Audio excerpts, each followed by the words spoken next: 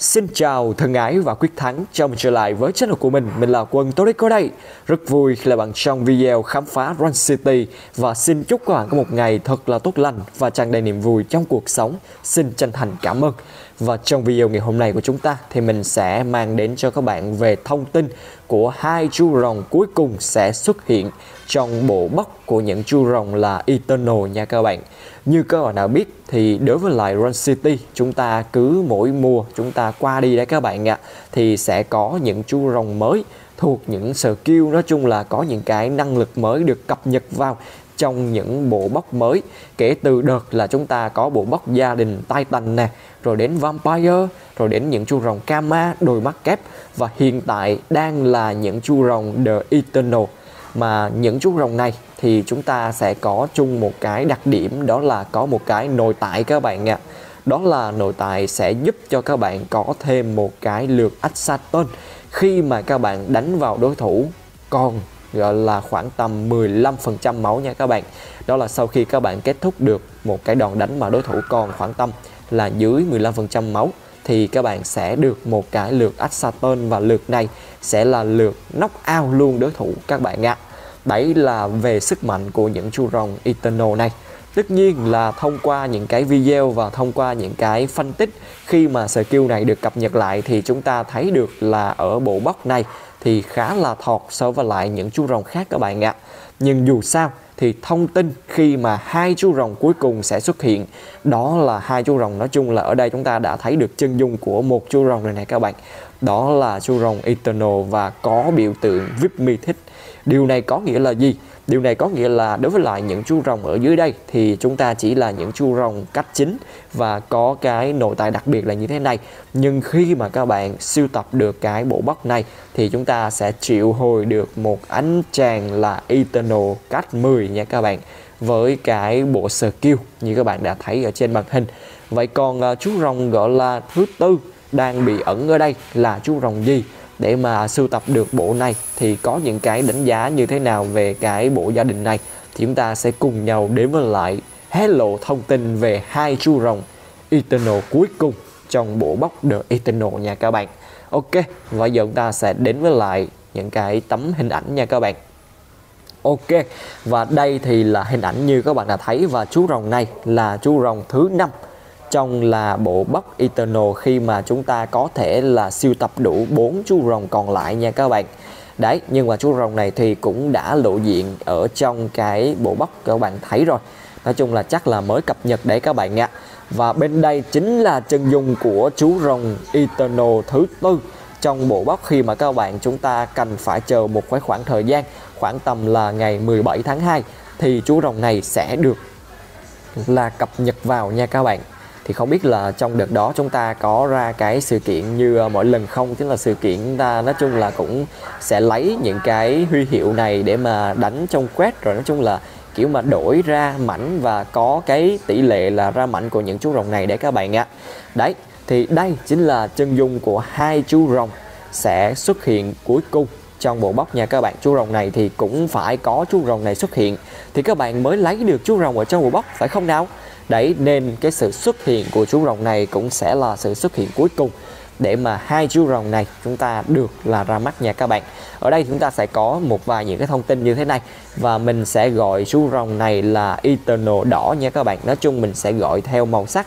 Như vậy thì à, chúng ta sẽ có tổng những chú rồng Eternal như sau. Đầu tiên thì là chú rồng Eternal đầu tiên mà chúng ta đã có rất là nhiều những video nha các bạn. Đó là chú rồng Eternal hồng. Wow, chú rồng này thì nói chung là trong đợt mới ra, chúng ta có một cái lỗi, đó là việc mà khi chúng ta kích hoạt được cái skill knockout đấy các bạn ạ, thì chúng ta có thể là chuyển đổi những chú rồng vào để cất. Rồi sau đó khi mà gặp một chú rồng đầy ke máu ra một phát nóc ao bay màu luôn các bạn ạ, thì khi đó phải nói sức mạnh của những chú rồng này đang ở, gọi là, tầm cao, nhưng cũng không có phải là quá cơ động đâu các bạn ạ. Tại vì chúng ta phải làm sao đó để mà có được một cái điều kiện đánh làm sao mà chú rồng bên kia chỉ còn lại khoảng tầm dưới 15% lượng máu thì mới kích hoạt được cái nội tại này mới có thể là để dành đánh uh, full hit một chú rồng bình thường gọi là được chuyển vào được nha các bạn. Nhưng mình nhìn là mình đã thấy là nó không có giòn rồi các bạn ạ. Đó chỉ là lỗi thôi đó chỉ là cái mà nhà phát hành chúng ta chưa tính toán đến thôi. Khi mà chúng ta đã gọi là quay trở về đúng với sức mạnh thật sự của những chú rồng Eternal này thì chúng ta khi mà kích hoạt cái nội tại nha các bạn có được cái skill knockout đồng nghĩa với việc là các bạn phải sử dụng nó vào chú rồng, gọi là đối diện luôn. Không được cất lại nha các bạn. Có nghĩa là bằng một cách nào đó thì chú rồng đối diện chúng ta chắc chắn là phải bay màu. Nếu như bị một chú rồng Eternal đánh mà còn dưới 15% lượng máu, thì đích xác là như vậy nha các bạn. Tuy nhiên, bằng cái điều này thì nó một phần nào đó nó lại gây cái trở ngại khá là lớn ở chỗ là chúng ta kém đi sự cơ động các bạn. Bởi vì ngoài cái nội tại đấy ra chúng ta sẽ không có gọi là những cái gì nói chung là nổi bật khác. Nói chung là về cái nội tại này thì giống như là các bạn được ờ, thêm vào 15% lượng sát thương đấy các bạn ạ à, ở cái việc là chấm dứt đối thủ. Mà nếu như vậy rồi thì nói chung là chúng ta cũng không thể phát huy được phần lớn sức mạnh của những chú rồng này nha các bạn. Mà cho dù gọi là trong khi chú rồng này là những chú rồng mới thì khó sở hữu nữa cho nên là có nhiều bạn chúng ta không lựa chọn là sử dụng những rồng Eternal. Và có những cái, gọi là, đánh giá, nhận xét. Thì chúng ta có những cái đánh giá không được giòn lắm về bộ những chu rồng Eternal nha các bạn. Nói chung là không có được ngon cho lắm đấy các bạn ạ. Không có được, gọi là, tận dụng hay là sử dụng nhiều cho việc đầu tư. Ok, thì chúng ta sẽ có những chu rồng Eternal. Thứ nhất là Eternal hồng ne thứ hai là Eternal xanh tím nha các bạn. Và thứ ba sẽ là Eternal tím. Tại sao mình lại gọi chú rồng này là Eternal xanh tím? Tại vì chúng ta cũng có một chú rồng Eternal xanh rồi các bạn ạ. Và đó chính là chú rồng này. Thực ra là xanh lam hoặc là xanh băng nha các bạn. Đấy, và chú rồng này thì hiển nhiên sẽ trở thành là Eternal đỏ nha các bạn. Thực ra thì à, hai chú rồng này đấy các bạn đáng lẽ ra là ta phải tính cái skill đầu tiên nhưng mà tính theo cái thuộc tính skill thứ hai là chúng ta có sự bao trùm rất là lớn luôn các bạn ạ. Ví dụ như là chú rồng này thì skill thứ hai là hệ lửa nên chú rồng này có gọi là toàn thân nói chung là rất là lửa luôn các bạn ạ. Đấy, nói chung là đây là một chú rồng nhà thiêu đốt nha các bạn. Và chú rồng này có hệ thứ hai là hệ băng cho nên là toàn thân toàn là phủ đầy băng luôn nha các bạn. Đấy và đây là chú rồng tuyết lở nha các bạn.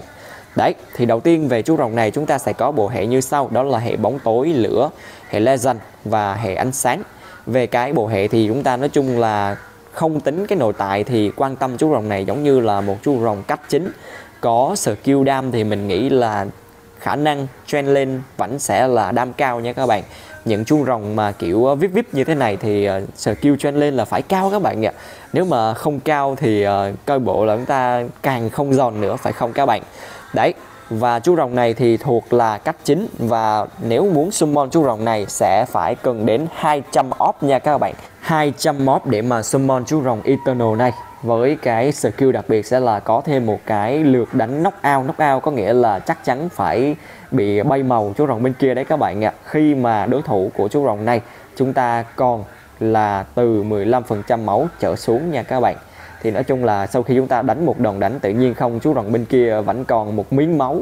Mà lượng máu đó thì à, tính ra là dưới 15% thì chú rồng đó sẽ bị là knock out các bạn ạ. Ui rồi rồi nói chung là skill thì là như vậy nhưng mà chỉ có một cái nội tại skill là như vậy thôi nha các bạn. Uhm, mình cũng cảm thấy là thiếu đi cái sự cơ động khá là nhiều. Nhất là những chú rồng này chúng ta chỉ có cách chính thôi nhưng bên đây khi mà sưu tập đủ bộ Eternal thì chúng ta sẽ có thể đến được với chu rồng này nha các bạn. Đây là một chu rồng cách 10 Eternal cách 10 này thì nói chung là sẽ có cái lượng máu và lượng đam giống như là một chu rồng cách 10 và cũng sẽ với cái skill đặc biệt là như vậy nha các bạn.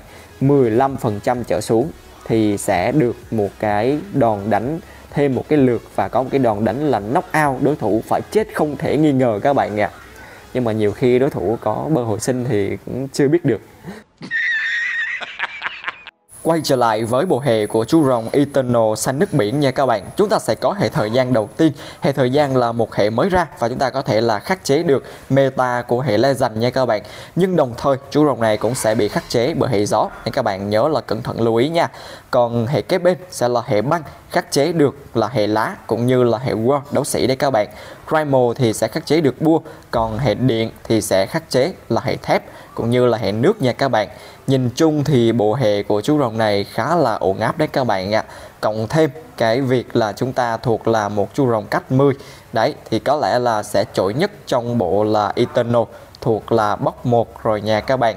Nói chung ờ, kiểu nào cũng vậy mà. Đấy, và bên đây thì là một chú rồng ở trong gọi là danh sách thành viên.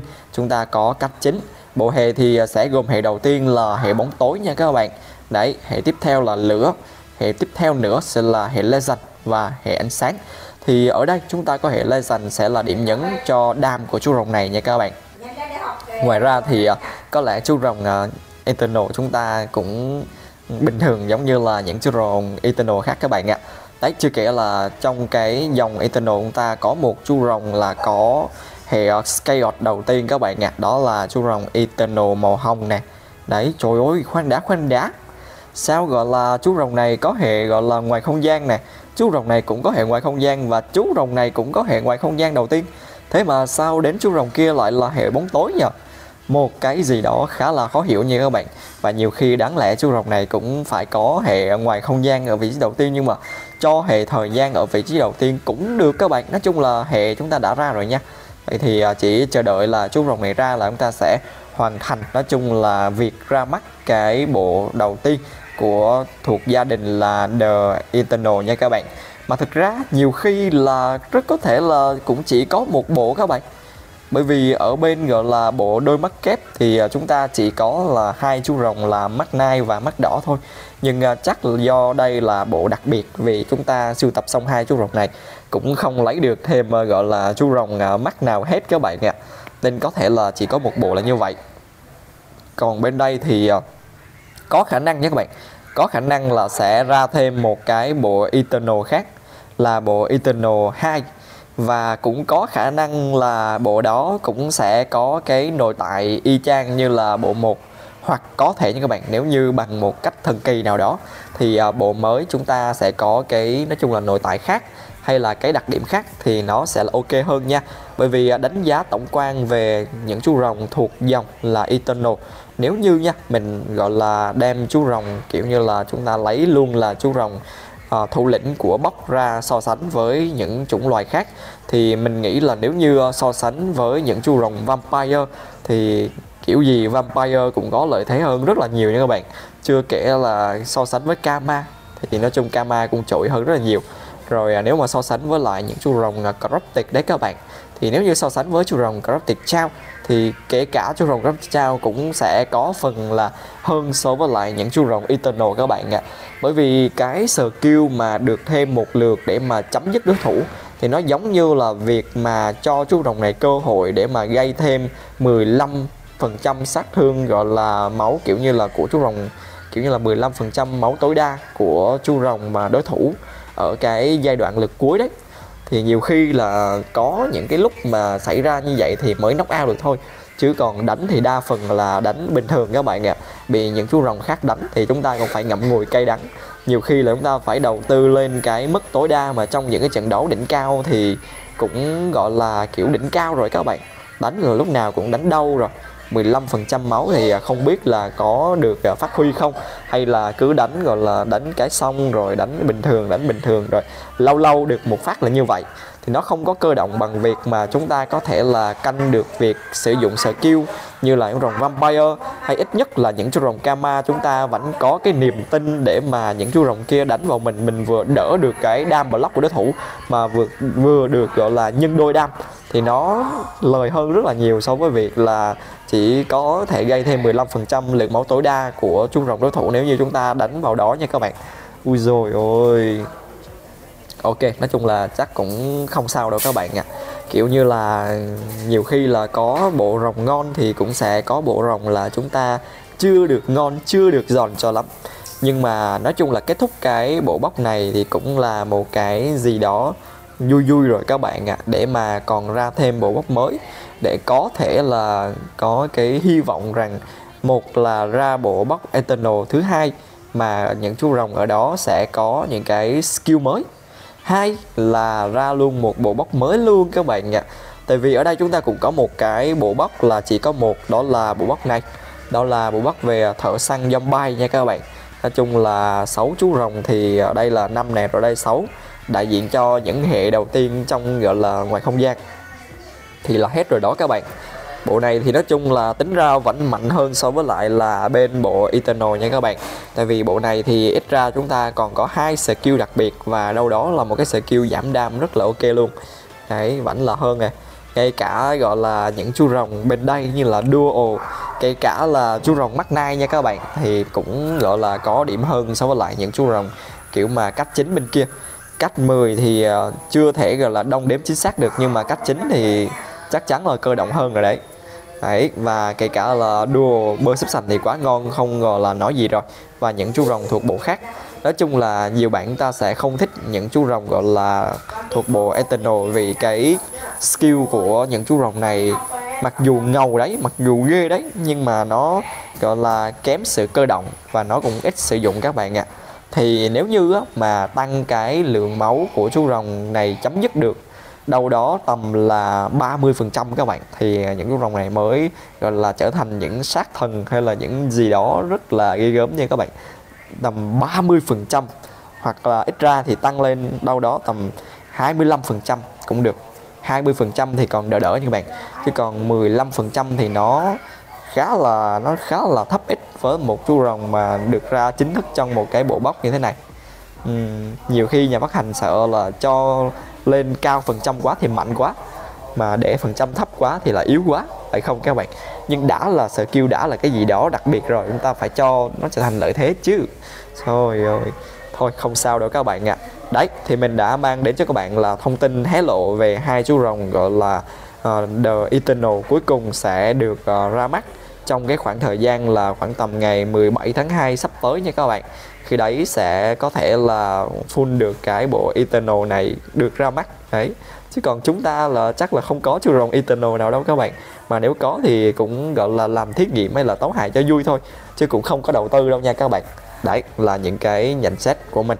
Còn các bạn thì có những ý kiến, nhận xét gì, hãy comment bên phía dưới các bạn nhé. Ok, và có lại video của mình đến đây là hết rồi. Hẹn gặp lại các bạn trong những video lần sau nhé. Xin chào và hẹn gặp lại. Bye bye. Chia sẻ cho thầy luôn. Các em, chia sẻ cho thầy đi.